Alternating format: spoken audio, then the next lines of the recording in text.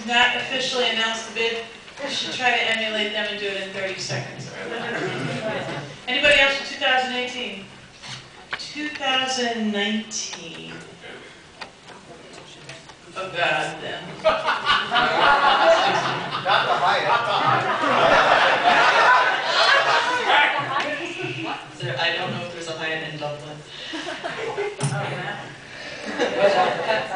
Hi, I'm Helen Montgomery, I'm part of the Dublin bid. James Bacon um, could not be here due to being unable to get off from work, um, and so he has sent me something. I've sort of... You know Irish accent, you could do. Uh, There is no way I can do it in an Irish accent. I did, however, attempt to edit it. If you can't do it in Irish accent, do it dry.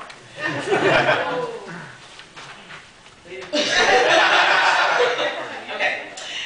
Dear friends, acquaintances, and fellow convention-running travelers, it is with great heartfelt regret that I am sorry not to be amongst you delivering these words, sharing with you the effort of our, our endeavor, but in a way this is indeed appropriate, for like our final destination in 2019, I am far away in a different part of the planet. I would like to report that since I have felt the warmth in San Antonio, and not just from the sun on my back, that there has been productivity of the glowing kind in Dublin.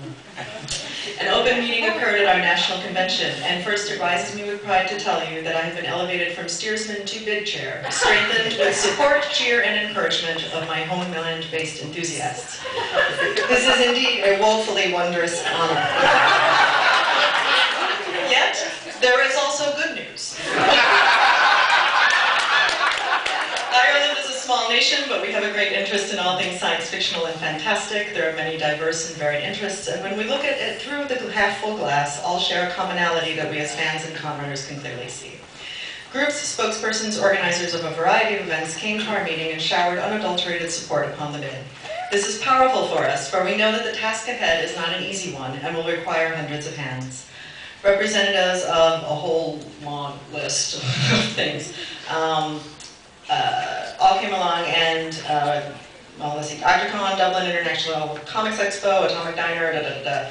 Um, they all showed up and they're really excited. Many of their constituents will hopefully be members of a future Irish WorldCon. Oh my God, already.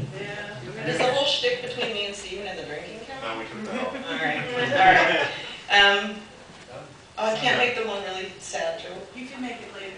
Okay.